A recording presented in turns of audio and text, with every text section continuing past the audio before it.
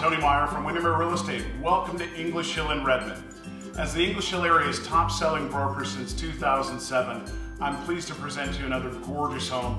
We are in the Sunrise neighborhood, just a couple of blocks away from Sunrise Elementary.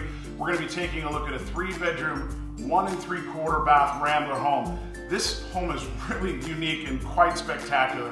It's a great room style floor plan that has been completely renovated over the last year. Check out this kitchen, just gorgeous spaces, big island, professional quality gas cooktop. It's got a gorgeous yard, nice flowing floor plan.